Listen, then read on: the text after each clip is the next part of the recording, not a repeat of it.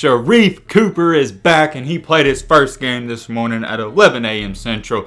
And let's just say he went off and it was a crazy game in general. We're going to talk all about it. So if you're new to this channel and love basketball content, what you doing? Join the family, hit the subscribe button. We're on the road to 100K. And without further ado, let's dive straight into the video. There is so many places where we can start with this video, but I'm gonna start with last night. Last night, it was announced that Sharife Cooper is cleared to play for the rest of the season and he was gonna play in today's game against Alabama. This news came at such a strange time because it happened at night, nobody really knew if it was true or not, and number two, nobody really thought he was going to be cleared this year anyways. Regardless of that and moving on, he was cleared, it is what it is, and we was all happy about it as fans in general. Sharife was one of the most highly touted recruits in high school last year, and everybody's been waiting for him to play, so there was a lot of hype. Honestly, this is just me, but I didn't know what to expect going into this game, and I surely didn't expect what he did to happen today. It's his first game back, think about it. He hasn't played in a single game this year, so I thought he was going to ease into things, maybe have 6 to 8 points, but boy was I wrong. He eased his way into this game against Alabama, but once he got going, he got hot very quick. He was the leading scorer for Auburn, but that's not the best part about this game. You could tell the impact he brings to any team he's on. If he was not playing in this game, Alabama would have ran away with it and it wouldn't have been close at all, especially in the first half. Cooper was single-handedly keeping Auburn in this basketball game. Points-wise, yes, he was helping the team,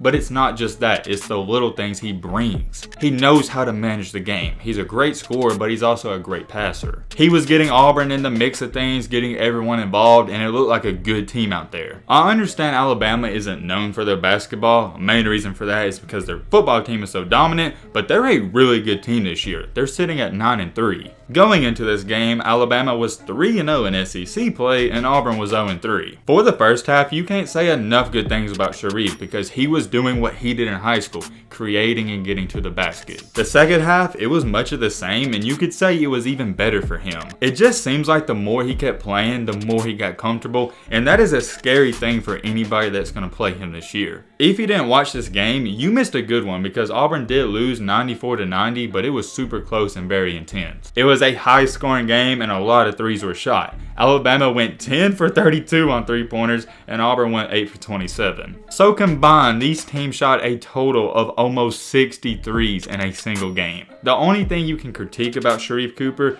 was his three point percentage because he was only 1 for 7 from the field, and that's straight up terrible, but everything else, it was very solid. Alabama also had a player who's very good that not a lot of people talk about. He goes by the name of Josh Primo. He's supposed to be in high school, but he's out there balling in college. He had 22 points. He started out the game with three straight threes and he caught fire. He did cool off, and by cool off, I mean really cool off. He finished the game 5 for 17 from the field and 4 for 8 on the three pointers. I know a bunch of you are curious about Sharife's stats. He went 8 for 19 from the field which is okay. What really hurt him was his three-point shots. Like I said, he went 1 for 7, so that hurt his overall field goal percentage. Finished the game in total with 26 points, 9 assists, and 4 rebounds. If you didn't watch this game, another huge knock I'm gonna have to put on Sharife was he did kind of sell at the end. Auburn was down by a couple of points and he took a terrible three-pointer, missed the shot. Auburn got a steal, had a fast break, and he took another three-pointer and airballed it. Not only that, but he did have two costly turnovers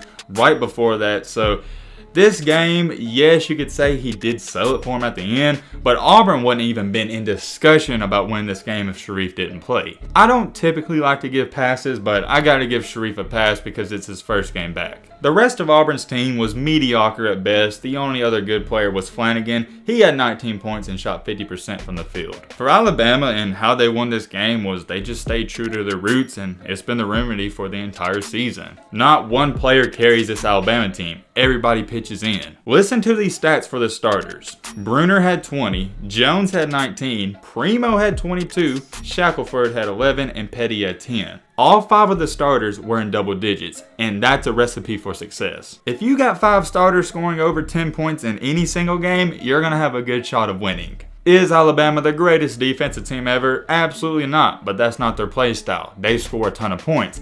They think if they can hold you under 85 points, they're going to win. I wouldn't say it's vice versa for Auburn. Auburn's not a great offensive team, especially without Sharife. With Sharife, it changes their whole team, but on defense, they're just terrible, I'm going to say it. They look lost out there, and the reason Alabama took 32 threes in this game wasn't because they just shoot a ton of threes like that normally, it's because they was wide open most of the time. Sharife had a good game and that's what this video is about. We're focusing on him, but Auburn does have a serious defensive problem. You want to know what a really bad sign is? If you watch this game, you know what I'm talking about. Alabama didn't even play that good offensively and they did not shoot the ball good. They was 10 for 32 on threes, 10 for 32, which is only a total of 31%. You can make an argument and say that's okay, but it's really not, especially if you're shooting 30. The overall field goal percentage wasn't any better, they was only 41%. And matter of fact, Auburn actually outshot Alabama in field goal percentage and they shot 47%, but still lost. It wasn't even like Auburn was getting out rebounded and bullied by Alabama either, because Alabama, they're not a bully team, they just spread it out and shoot a ton of threes. The rebounds was 38 to 34, so Alabama didn't have that many second chances that Auburn didn't either. Back on topic with Sharife though, wow, just what can I say? He completely shocked me. This is a perfect example too because we've made some videos talking about BJ Boston, how he's been disappointing, and all y'all talk about in the comment section is, oh, he's a freshman, you gotta give him time. But this is a perfect example as to why I don't have to give him time. Josh Christopher, Sharife Cooper, and there's many other freshmen, they're going out there and balling out. When I say I'm tired, I am so freaking tired of people giving the freshman excuse. Maybe 10 years ago, yeah, I can understand. But it's different now. Freshmen come in and they're expected to produce. And it's not just a freshman. If BJ Boston was a three-star recruit, I could understand it. But the fact he's a five-star, there's no excuse. Think about this. Sharife Cooper hasn't played basketball in over a year, so he's been super rusty. He comes out in his first game and dominates. It's not even like Sharife's this big body guy bullying people either. He's 6'1", 6'2", max. There's not too much more to say about Sharife. You could go on and on about him and rave about him. Yes, he made some rookie mistakes, especially late in the game.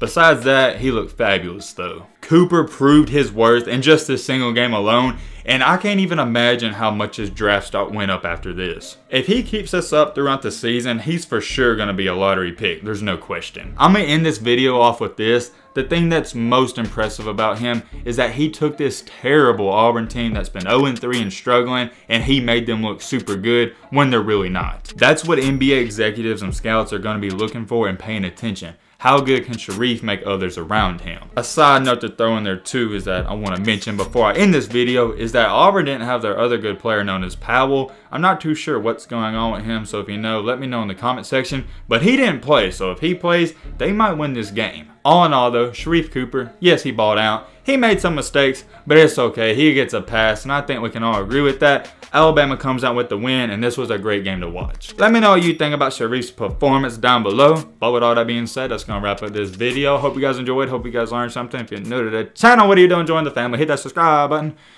I'm out of breath. Leave a like for more. And as always, let's be great. I'm out, y'all. Peace.